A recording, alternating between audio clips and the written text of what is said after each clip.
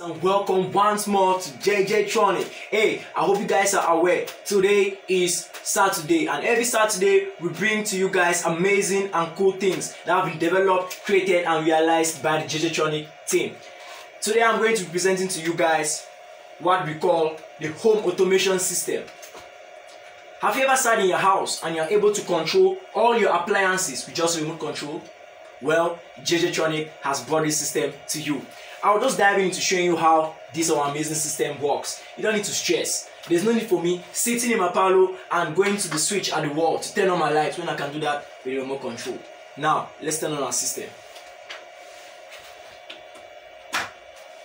Our system is turned on.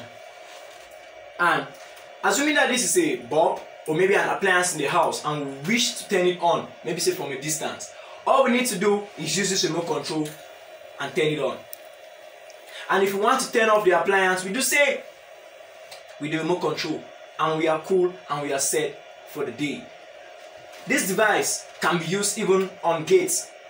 It can be used to turn your gate. Maybe you have a visitor at the gate and you don't want to delay time like sitting on the on the couch and there's someone at the gate. You have to go and get that person at the gate. You can do that just using your remote control.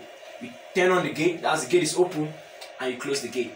For more information about this home automation system, as we call it, you can head over to our website jjtronic.com down there. And please don't forget to like to share and to subscribe. Thank you. Stay tuned. See you next saturday